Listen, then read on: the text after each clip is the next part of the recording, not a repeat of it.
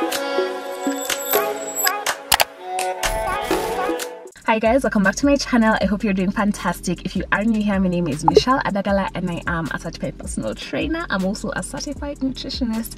Welcome to my channel. Today we're going to be touching on the raw truth on good food and bad food. And to be honest, this is where majority of the issues stem from for so many people. Whenever you have this list of foods you should avoid, foods you should be eating, food which is good and bad, food which is allowed and not not allowed you know. That dichotomization of food is where majority of the issues stem from in regards to people's relationships with food people's perceptions with food. I'm not here to tell you that a slice of pizza is equal to a bowl of fruit. I'm not here to say any of that. But what i'm telling you right now is that food is food. What differentiates the two is the level of macronutrients within the food micronutrients within the food fiber content calorie content and whether it aligns with your goals at the end of the day. That dichotomization of good food and bad food can be so detrimental to your relationship with food, how you perceive food, and how it's gonna affect your health and fitness as the months go by. So please, if you're that person, this is your cue to stop. Just cut it. food is food, okay? However, what you should keep in mind is that too much of something is detrimental. It is okay if you have some sugar, but if you have too much sugar, it can be detrimental. You can end up having high blood glucose levels and then end up crashing and having low blood glucose levels, and that can be quite detrimental and harmful to your health, right?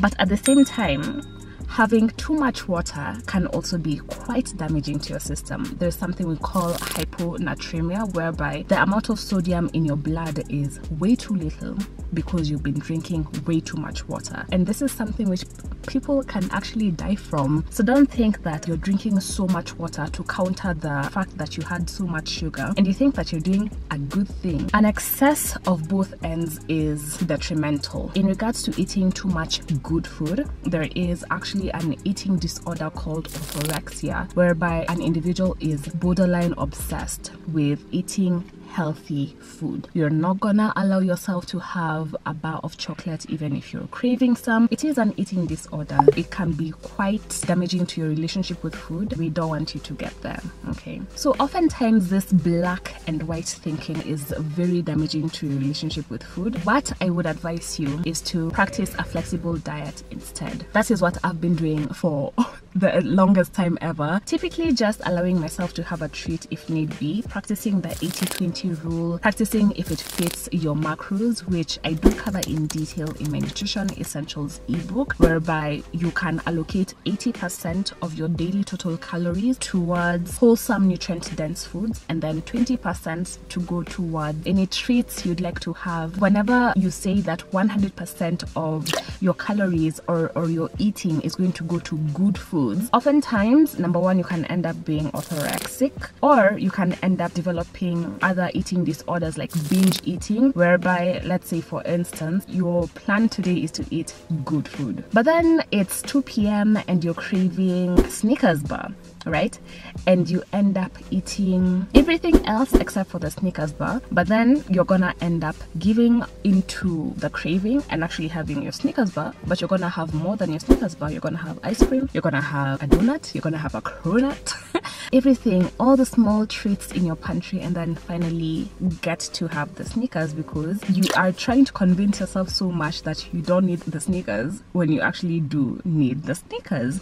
And remember, there's no problem with having your treats in moderation. And this is what if it fits your macros advocates for. If at the end of the day you've eaten wholesome nutrient dense foods it's 7 p.m and you have about 250 calories left and you have like a muffin in your pantry go ahead and have the muffin. Not only is it going to satisfy you physically in terms of your cravings but also mentally. Oftentimes we fail to realize that eating is also a mental process. Enjoy the food. How is it gonna make you feel like mm, today actually I ate really good. I ate in a healthy way, a manner which is not restrictive, a manner which is also balanced. So girl, or guy if you want to have that muffin go ahead and have that muffin. You want to learn to strike the balance in regards to what you eat and how you eat it and how you perceive your food. You don't want to get to a point whereby you're going to develop eating disorders because of you know how diet culture is set up in today's society. Or your relationship with food you don't want to damage it because remember this is something which will stay with you for the rest of your life right? So learn to strike the balance stop dichotomizing food because there's no such thing as good food or bad food. Yes, there are differences within the nutritional value and how it benefits your body and other implications, but at the same time, you shouldn't put yourself in a prison because now, since you're working out and you're in this fitness journey, you're not going to allow yourself to indulge once in a while. Having a treat once in a while is not going to erase all the hard work which you've been putting in. The problem is consistently and excessively indulging and overindulging in the things which you perceive as bad food. For example, the recommended daily allowance for sugar is 30 grams, which looks like 3 tablespoons of sugar and you have your cup of coffee with sugar and that's okay you know? Like you move on with your life and that is pretty much okay. So guys remember maintaining your relationship with food comes at the top. Do not let anything destroy it. And with that being said guys i'd like to hear your thoughts. I'd like to hear your comments. What your relationship with food looks like at the moment. Whether you had this perception of good food versus bad food and how you're working towards you know just correcting that. and with that being said, guys, thank you so much for tuning in today, and I will see you in my next video. Bye bye.